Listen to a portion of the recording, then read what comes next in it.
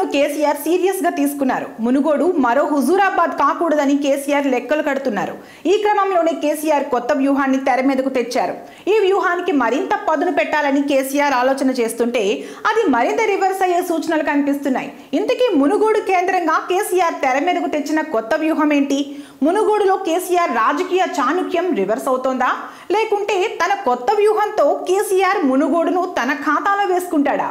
Just watch this open secret.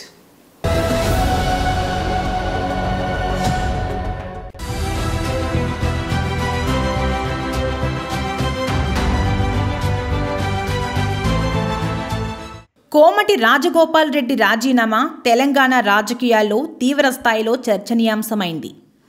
కాంగ్రెస్ను వీడిన రాజగోపాల్ రెడ్డి ఇప్పుడు తన రాజీనామా ఆమోదించుకుని మరీ బై ఎలక్షన్కు సిద్ధమవుతున్నాడు. త్వరలోనే బీజేపీ జెండా కప్పుకోబోతున్నాడు కూడా. బీజేపీ అభ్యర్థిగా రాజగోపాల్ రెడ్డి పోటీ కూడా చేయబోతున్నాడు. రాజగోపాల్ రెడ్డి రాజీనామాను కాంగ్రెస్ ఎంతో ప్రెస్టీషియస్గా తీసుకుంది. రాజగోపాల్ రెడ్డి పార్టీకి రాజీనామా చేయకముందు నుంచే మునుగోడుపై రేవంత్ సీరియస్గా ఫోకస్ పెట్టాడు. హుజూరాబాద్లా కాకుండా ఎలాగైనా మునుగోడును గెలిపించుకుని తన స్థానం పదిలం చేసుకోవాలనేది రేవంత్ అంచనా. ఇక ఒకవైపు బండి పాదయాత్ర మరోవైపు వచ్చే ఎన్నికల్లో తమదే అధికారం అనే నినాదం మధ్య బీజేపీ కూడా మునుగోడులో సై అంటే సై అంటోంది.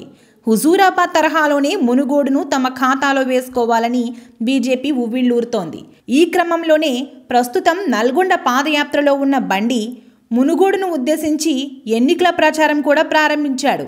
ఎలాగైనా మునుగోడును తాము హస్తగతం చేసుకుంటే నల్గొండ లాంటి చోట్ల కూడా బీజేపీ బలపడుతుందనేది కమలనాథుల అంచనా.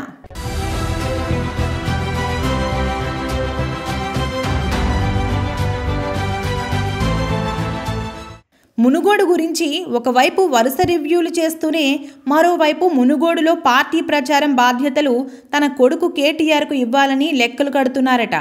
హుజూరాబాద్లో తమ మేనల్లుడు హరీష్ను రంగంలోకి దించినట్లే మునుగోడులో కేటీఆర్ను రంగంలోకి దించాలనేది కేసీఆర్ ఆలోచన అంటున్నారు.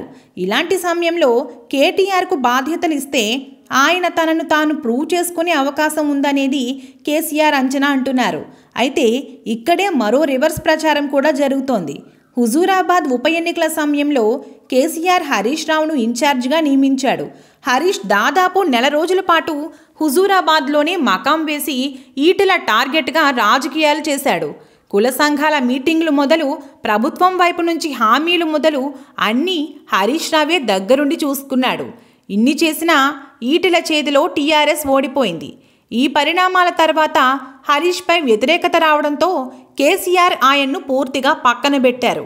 ఇక ఇప్పుడు మునుగోడు బాధ్యతలు కేటీఆర్కు ఇస్తే హుజూరాబాద్ సీనే రిపీట్ అయితే పరిస్థితి ఏంటనే వాదనలు కూడా ఉన్నాయి.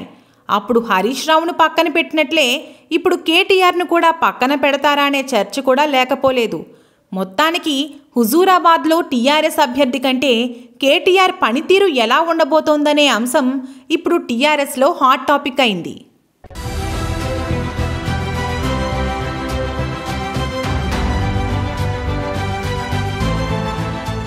ఈ వీడియో మీకు నచ్చినట్లయితే please share like and subscribe R twenty Telugu.